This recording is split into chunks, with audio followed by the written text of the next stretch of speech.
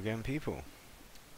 Well, on my last video I made and uploaded, I had a little problem with getting a failed export every single time I tried.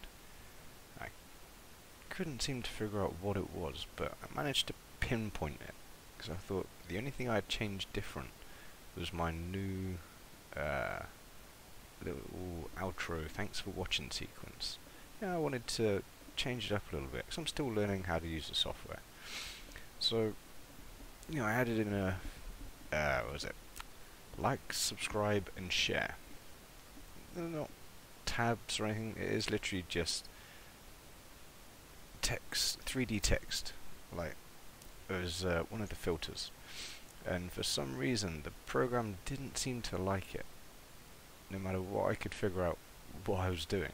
But, I managed to replicate it on a smaller scale and pinpoint what the problem was and how I actually ended up getting around it.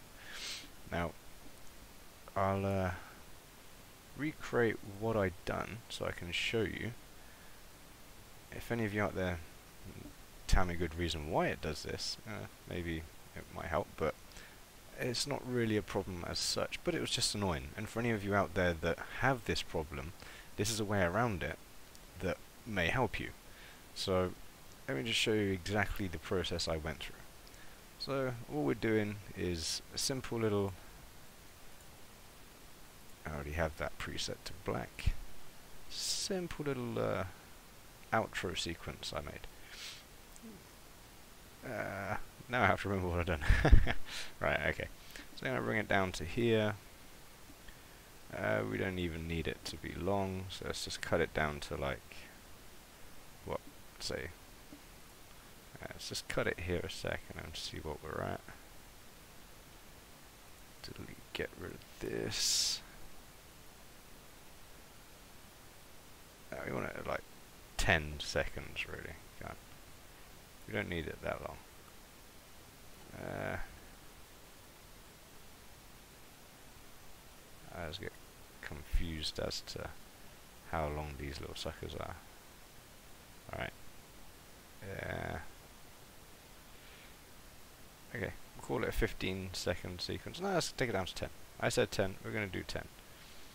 There's probably better ways to get it to 10, but okay. Right, we have a little 10 second sequence. Now I'm going to add in my uh, text filters. So 3D text, HTML, and this is the exact piece that I actually use, but I only do it for like 5 seconds but I recreate it and this actually has the same effect. So, let's see. Misspelling there.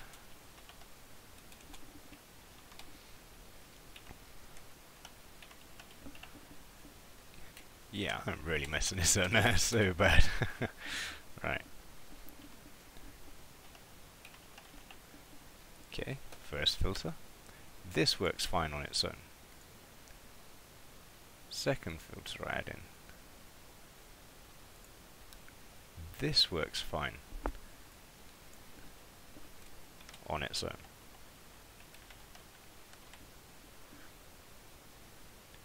Then we add a couple more. This third one I added is when it started to fail, and with the fourth one. I tried it with just the two, and yeah, for some reason it wasn't liking it. So, uh, the preset we have share. So I'd do the full effect of what I actually used originally. Oh my gosh, I'm missing letters and swapping them around here, and I, yeah, that, that's terrible. Okay. Oh, okay.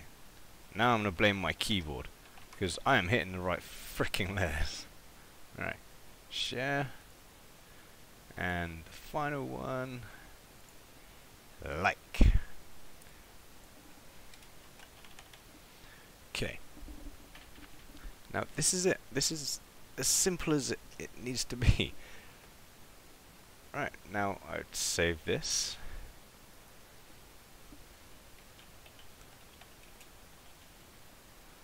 Failure test 1. Okay. Now the export parameters I use high profile, compression, I was put it to 70. Uh, you can see the options I use. Everything is as standard. That's the only thing I, I generally change. Just take it down to, uh, even up to 70%, so it compresses by 30%. That's it. Now, we export. Failure test 1. and you get a little box up here. By the way, as you can see, I'm using Shotcut Video Editor. It's free software, so it's very you know, handy to use if you want to do things on a very low budget.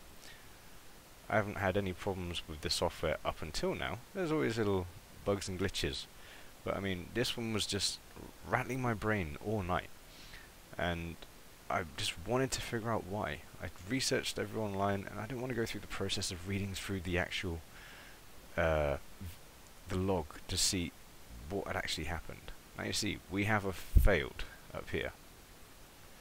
Okay. Now we're going to one simple little thing changes that from a failed to a pass. Takes slightly longer, but it passes. Now this option down here, parallel processing, from a few people forums online I've been reading, seem to say that if you disable this, it will actually help things get a past export for some reason. So we're going to try that. Save as is, again, just to make sure everything's good. Still at 70, yep. Alright. Now we're going to export file.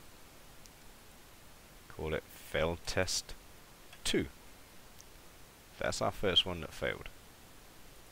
Save. Yes. Exporting. Creating the file so I can upload to YouTube. Ah. Now, this one I'll actually be using because this one passes. I am hoping it passes because originally it did. I've tried it a few times and it runs fine.